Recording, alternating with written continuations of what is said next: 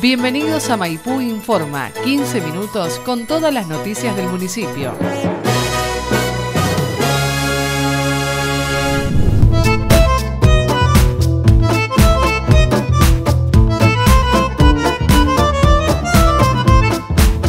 Bueno, eh, en primer lugar, eh, yo quería agradecer la invitación de, de la Secretaría de Salud y Acción Social de acá del Partido de Maipú por haberme invitado para realizar el día de hoy una charla dirigida hacia la comunidad con la finalidad de poder quizás despertar, eh, digamos, una toma de conciencia en una enfermedad tan importante como es la diabetes.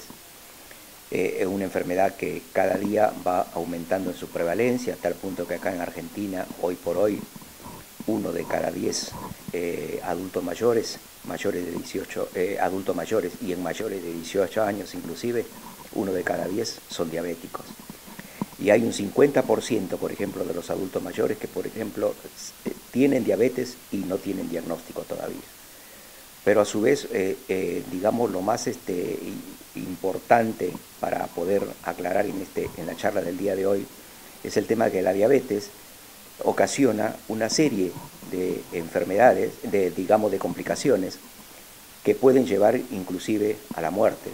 Por eso el día de hoy lo que se quiere es que la comunidad tome conciencia, reflexione, meditemos juntos para sobre todo hacer hincapié en los cambios de estilos de vida, que es muy importante para poder eh, tratar de esta, esta enfermedad, pero sobre todo también evitar y disminuir el riesgo de las complicaciones.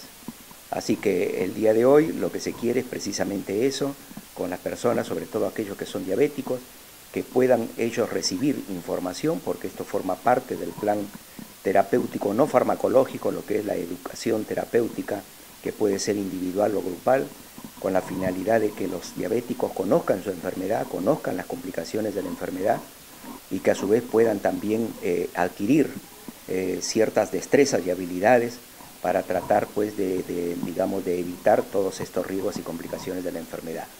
Eh, es importante que ellos mismos hagan un buen autocontrol, que cambien los estilos de vida.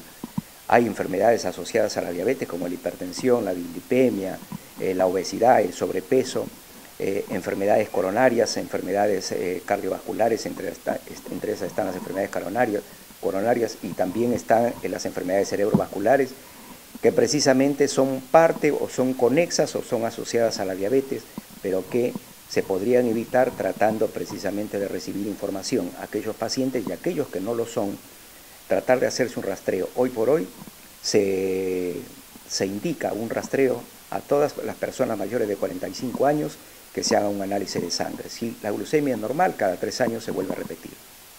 Pero es importante esto porque hay veces, como repito, que encontramos pacientes que no tienen diagnóstico de diabetes todavía y sin embargo lo son, porque a veces la diabetes cursa con síntomas o a veces cursa sin síntomas y a veces es una enfermedad muy silenciosa que realmente este, al no saberlo, después cuando ocurren las, complicaciones se hace el diagnóstico, pero ya la enfermedad ha tenido una evolución de aproximadamente 8 a 10 años. Así que bueno, el día de hoy lo que queremos es tratar de despertar este, esa inquietud, abrir un poco los ojos con respecto a esta enfermedad. La Ley Nacional de Diabetes ampara a todas las personas que tengan esta enfermedad, eh, para que tengan una, eh, para que garantiza esta ley el tratamiento precisamente, eh, ya sea con el aporte de insumos y medicamentos, en un 100% tengan o no cobertura, y eso lo saben muy bien las, inclusive las asociaciones de medicina prepaga, y por lo tanto todos los diabéticos tienen que tener acceso al sistema de salud ya sea en la atención, pero también en, el hecho de que se le brinden insumos y se le brinde toda la aparatología, los aparatos tecnológicos que, hoy en día se están este, usando, eh, inclusive insumos como la insulina, hoy han aparecido muchos medicamentos nuevos análogos de la insulina, eh, para el tratamiento y que eso, y drogas nuevas inclusive como hipoglucemiantes orales, y eso es importante que lo conozca la gente para que estén ellos preparados, que pueden tratar, eh, digamos, cómo pueden tratar la enfermedad y la charla de hoy también cómo se puede prevenir también esta enfermedad. Así que bueno, eso es importante eh, que la gente sepa y bienvenido a esta charla para poder hablar con, con ellos, con la comunidad. Yo soy Mariana De Vincenti, soy trabajadora social del CAS de Villa. Eh, en este caso es comentarles que desde la Secretaría de Salud y Acción Social eh, contamos con un cronograma de trabajo en el que cada CAPS, cada centro de salud, viene diagramando ciertas charlas de acuerdo a la demanda que encontramos en cada sala. En este caso, desde el CAP de Villa Italia, organizamos una charla sobre diabetes eh, debido a la demanda diaria que tenemos, eh, donde las personas del barrio y, también de la ciudad en general se acercan para que la enfermera le realice los controles de glucemia y eh, todo aquello que el doctor indica. bueno, debido a esta demanda de pacientes diabéticos y por ahí que encontramos que no están en conocimiento de algunas cuestiones, de los tratamientos, que ellos necesitan tener más información, eh, pensamos eh, con el equipo de trabajo, con eh, la administrativa y la enfermera de esta institución, desarrollar una charla. Convocamos para, para, ella al doctor Arevalo y a la nutricionista Florencia Iturbe, no solamente para las personas del barrio Villitaria, sino a la comunidad en general. Así que bueno, contar con la presencia de, de todos los pacientes diabéticos y con familiares, con amigos, con gente que tenga eh, contacto con personas diabéticas que quieran acercarse para informarse más sobre la enfermedad y sobre el plan alimentario. Eh, con la convocatoria que se ha hecho desde la Subsecretaría de Salud y Acción Social, que está dirigida a todos los pacientes diabéticos de acá del barrio y también de toda la comunidad que se quieran acercar. Eh, viste, considerando la importancia que tiene la nutrición en esta patología, es por eso que eh, luego de que hable el doctor Arevalo, eh, voy a seguir yo con la parte del plan de alimentación, que es muy importante para esta enfermedad y teniendo en cuenta la selección de los alimentos que debemos tener en cuenta, ya sea para los diabéticos tipo 1 o para los diabéticos tipo 2.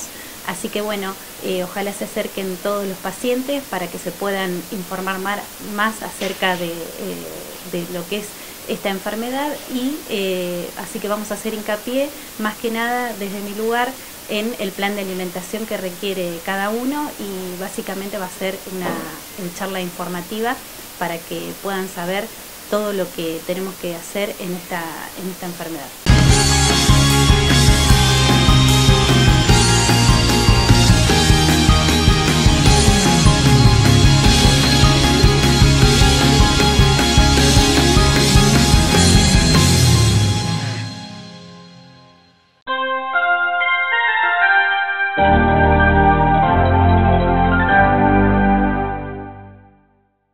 El alumbrado público de Maipú se está renovando.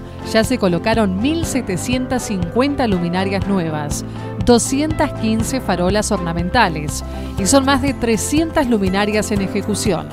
Un 85% de la ciudad ya cuenta con esta tecnología LED, logrando un menor consumo, menor gasto de mantenimiento, mayor luminosidad, mayor seguridad y más vida útil una inversión total de más de 20 millones de pesos que iluminará a todos los maipuenses.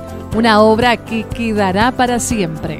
Felicitar a, todos los empleados municipales, al, equipo de servicios públicos que realmente eh, se sigue viendo el trabajo que vienen haciendo y obviamente eh, todo, como siempre digo, desde el municipio.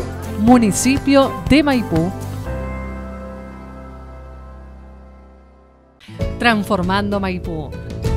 Desde 2016 a la fecha, el hormigonado en nuestra ciudad sigue creciendo. Más de 5.820 metros cúbicos de hormigón se utilizaron para diversas obras. 1.320 metros cúbicos de bacheo y cordón cuneta equivalen a 9 cuadras. 4.000 metros lineales de cordón cuneta. 40 calles que eran de tierra ahora son de hormigón. Estas son obras que quedarán para siempre. Municipio de Maipú.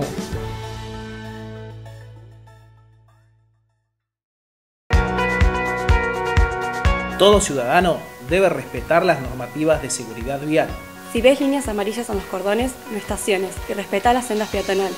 Usar casco salva vidas. Cuando transites, siempre tener a mano toda la documentación necesaria. Dentro de la ciudad, transita bajo los límites de velocidad. Los menores en el asiento trasero y con cinturón. Si bebés, no conduzcas. Respetar las normas de tránsito hacen una mejor vida. Cuida y cuídate. Si ves a alguien desconocido o vehículo, llámanos. La seguridad la hacemos entre todos.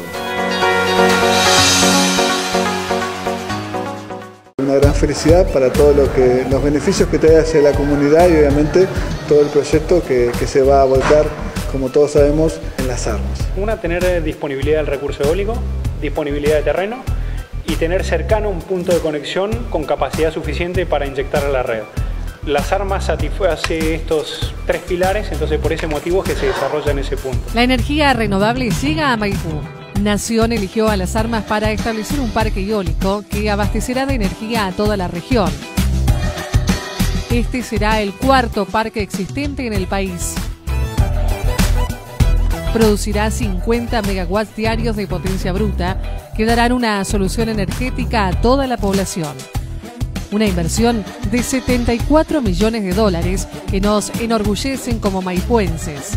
Energía iónica, un recurso inagotable para el beneficio de todos.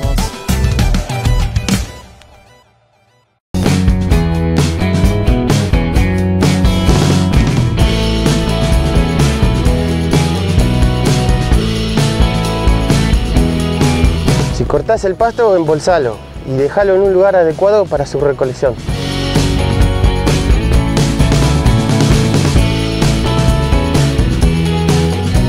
Respetar los días asignados por la Subsecretaría de Servicios Públicos para sacar escombros y ramas.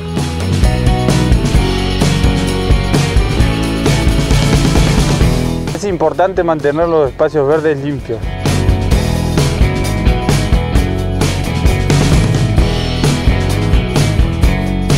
Un Maipú limpio lo hacemos entre todos. Maipú sos vos.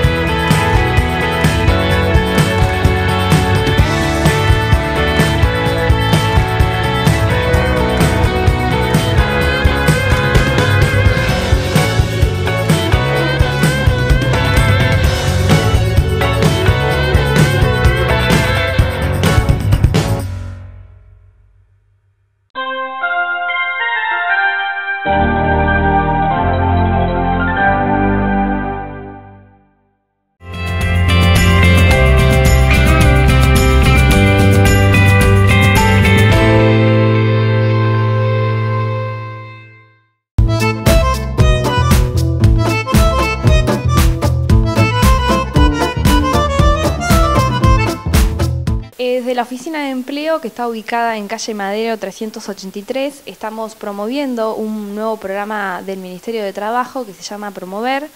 Eh, una de las líneas de acción que vamos a, implementar en este municipio es eh, entrenamiento para el trabajo. Está dirigido a personas mayores de 18 años que cuenten con un certificado de discapacidad. Este programa consiste en que la persona va a realizar como una práctica, una pasantía en algún eh, lugar de trabajo va a recibir una remuneración por el tiempo que esté dentro de este programa. Lo que busca, este programa es que la persona pueda aprender conocimientos y habilidades nuevas y le quede como experiencia esta práctica. Las personas interesadas deben acercarse a la oficina de lunes a viernes en el horario de 7 a 13 horas, junto con fotocopia de DNI y el certificado de discapacidad, una copia se le va a realizar una entrevista y bueno, en base a los intereses que esta persona eh, presente se va a buscar eh, cuál va a ser el lugar más apto para que pueda realizar estas prácticas. Municipio de Maipú. Maipú, sos vos.